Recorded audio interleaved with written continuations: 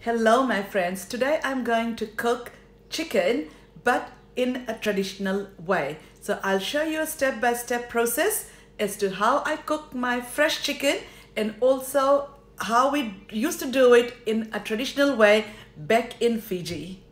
I'm prepping for my cooking now. So I have got chili, garlic and ginger and I am pounding it in um, what we call in Fiji sil and loda. So it's a traditional way of uh, mincing the ingredients. You can make chutneys um, here as well. So this is how we just go and then the chili, garlic and ginger is in uh, crushed into a paste. So the fire is getting ready. In the meantime, I've put oil around my pot so that it doesn't catch a lot of um, black stuff on it oil is heated. To that I add mustard fenugreek and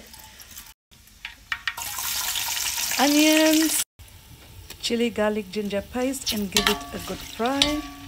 Add curry leaves. Add curry powder. Add a little bit of turmeric to it.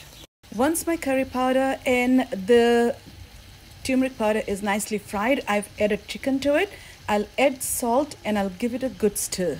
Add salt according to your taste and give it a good fry.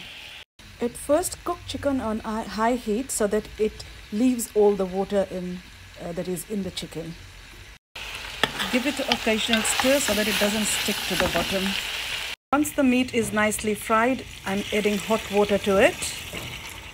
And then lower the heat and let it simmer and cook on very low heat. Add a few pods of cardamom to it to add a bit of flavor. Chicken is nicely cooking on low heat. While my chicken is cooking, I have made some tomato and coriander leaf chutney again on my sill, which is a stone grinder. My chicken is cooked. Now I'm going to garnish it with coriander leaves. Final product, chicken curry, coriander and tomato chutney, in rotis with homemade ghee. The rotis are stuffed with dal or lentils, so it's called dal bhari roti. Things that I've used in my cooking process are sil and loda. In English, we call it stone grinder. A wooden stove, which we call in Hindi chula.